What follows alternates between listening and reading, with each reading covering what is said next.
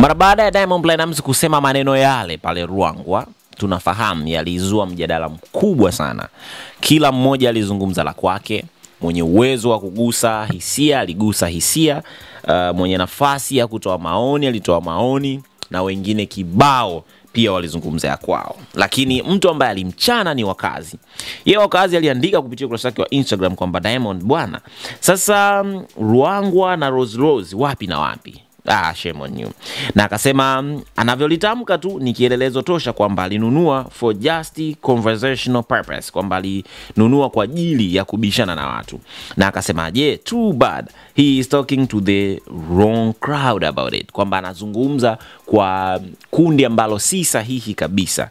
Anasema kwa msanii ambaye has become such an inspiration and beamer of hope kind uh, wasio na fursa ni It's a sad kuona umiliki wa Rolls Royce eh, Carlinas is the punchline he used kufunza ama uh, kutufunza ama uh, kutusisitiza kutokata tamaa, akimaanisha kwamba ni aibu kwa msanii kama Diamond Platnumz ambaye tunamtazama ama watu wengi kabisa wanamuona kama ni sehemu ya wao ku, ku, ku, kujipa moyo zaidi wa upambanaji, lakini pia ni kioo cha jamii cha vijana wengi sana ambao kwa namna moja ama nyingine wanakosa matumaini kwa maeneo mengine, basi wanapata moyo akimwona Diamond Platnumz. Amesema ni aibu sana. Sasa watu wengi walimshambulia sana Wakazi juu ya hili. Baadaye uh, mara baada ya hilo akaamua azungumze sasa yeye mwenyewe kama Wakazi. Akasema hivi, jamani, iko hivi. Alishare kwanza ule ujumbe ambao uliuweka awali, baadaye akashusha nyundo zaidi. Nitasoma kama ilivyo. Akasema, naona hii tweet imeleta maneno mengi sana, mara wivu, mara nini. Akazungumzia ile tweet ambayo alitweet awali, lakini baadaye akaendelea akasema, moja, mi sina wivu na mtu. I'm happy with my life, the ups and downs and the whole experience so far. Akamaanisha akimaanisha kwa maisha yake yeye. Anasema mbili, msiruhusu emotions ziwape kiwingu na kufanya mshindwe kuwa logical na punguzeni mihemko. Tatu, tupo kwenye kizazi cha social media na uhuru wa maoni na maamuzi.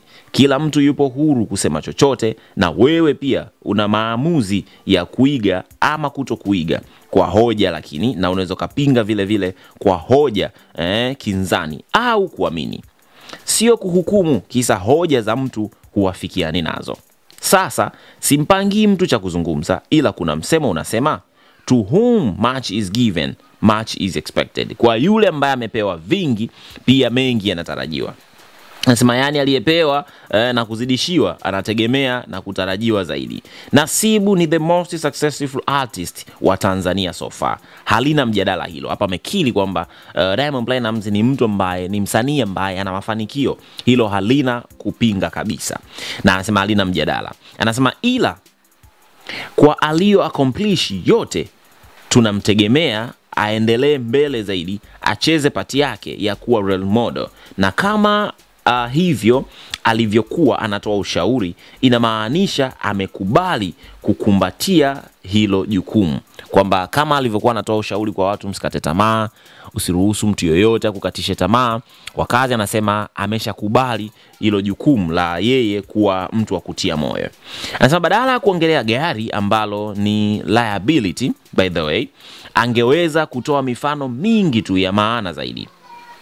Hiyo show tu yenyewe ni mfano tosha eh, kwamba record and label, media house, betting company artist uh, aliyowatengeneza success ya new single na, ka, na kadhalika. Lengo ni kujenga na kuinspire, ila sidhani kama kununua gari ni achievement au mfano bora, na sitaki kuamini kuwa um, kama mnayeniita hater, nina uwezo wa kuandika better CV na utambulisho wa mafanikio ya Nasib kuliko yeye au nyie chawa wake.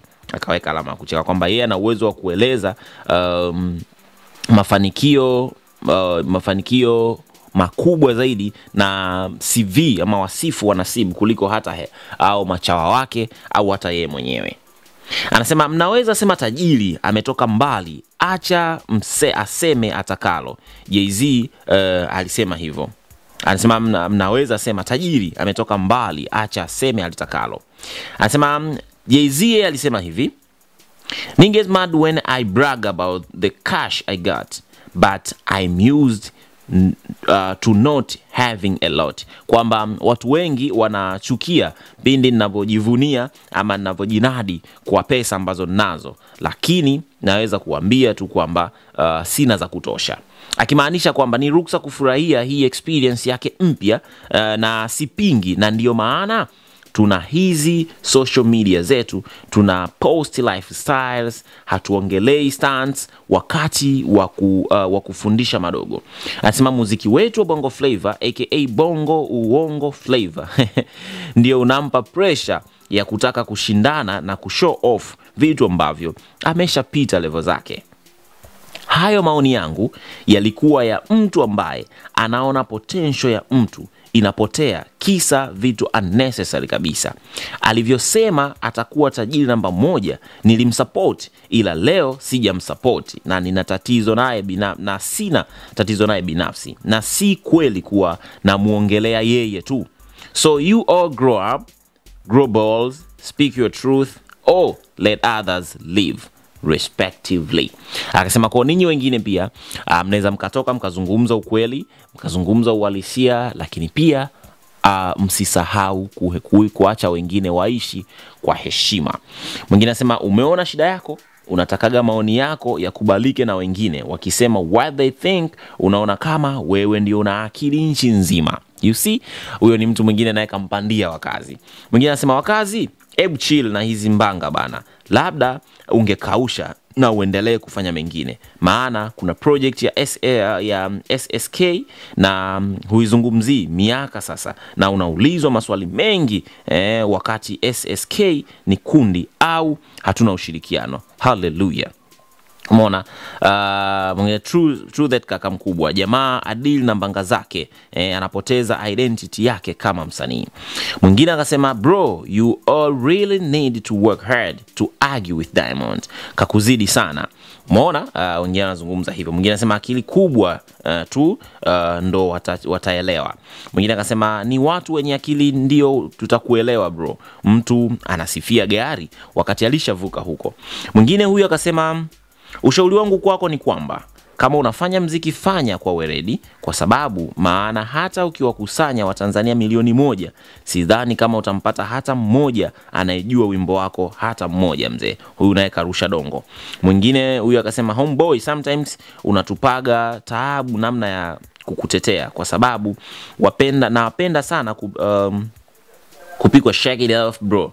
Life is like a water. Trapped in the... kaongea mambo mengi sana ambayo lugha si rafiki sana pia. Mwingine anasema we biro unajisumbua mzee. Hii nchi ina watu wenye iq ndogo mno kwenye kukielewa uh, kwenye kukie, kulielewa jambo. Uh, kulichanganua lakini pia na namna bora ya kulijengea hoja. Katika utetezi wewe umeshinda. Hili ni janga kwa taifa. Miaka ijayo tutakuwa na wazee wa ovyo sana maana vijana wa sasa ni ngumu kuliwaza jambo nje ya boksi exposure ulionayo na iq yako kwenye vitu uki, uh, ukilinganisha na ndugu zako wa bongo ni ngumu sana kukuelewa wakazi. Huyu jamani mkenya kaandika hivyo. Anasema uh, huyu uh, mkulia wa kideshi kutokana na bonge la tusi. Lakini kiuhalisia alichokisema wakazi ni ukweli ule ule yani tuende mbele turudi nyuma bado tutarudi kwenye ule ule ukweli ambao hatuwezi kukwepa hata siku moja. Kwamba alichokuwa nakizungumza ni kwamba Diamond Platnumz ana mafanikio makubwa zaidi ya hiyo gari. Kwa na vitu vingi vya kuinspire vijana kuliko kuzungumzia hiyo gari. Maoni yako ni muhimu zaidi na unaweza kaacha kwenye ulimwengu wa comment. Hatua tv iko nawe sambamba popote pale ulipo. Hatua tv with you everywhere